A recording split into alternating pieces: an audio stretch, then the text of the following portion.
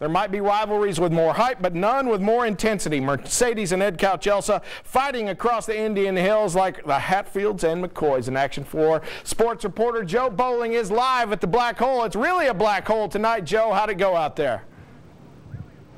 Boy, you know it is a rivalry, and you know it was a big time one here between Mercedes and Edcouch-Elsa. The wind played a big factor in this one as well. Mercedes comes in with that perfect district record, trying to take down the Edcouch-Elsa Yellow Jackets. Let's get to the highlights in this one. Again, the wind was a 12th man. It helped both teams early on. This is going to be Mark Garcia taking it down the left-hand side for the Edcouch-Elsa Yellow Jackets, and he will go into the end zone for the score to make it a 7-0 game.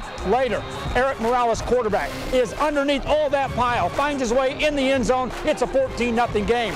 Then, on a fourth and goal, this is Mercedes, and the Edcouch-Elsa defense says, no, a big stop. There's no quit, though, in Mercedes. They come right back at you. There's no quit in this guy either. Matthew Guzman runs through one, two, three, four tacklers into the end zone, makes it a 14-7 game. In the second half, it was Morales again breaking free, scoring for the Edcouch-Elsa Yellow Jackets. Their defense comes up with two huge plays, a fumble recovery, an interception in the end zone, and then a 75-yard drive to eat up the last six minutes of this game game and win the ball game for Edcouch-Elsa's Yellow Jackets. 21-6 as your final. Again, a big rivalry matchup. Mercedes falls for the first time in district action. Edcouch-Elsa joins him in the mix looking for a playoff spot. From Benny Layton Senior Stadium in Edcouch-Elsa, Yellow Jackets win this one. For Action 4 Sports, back to you.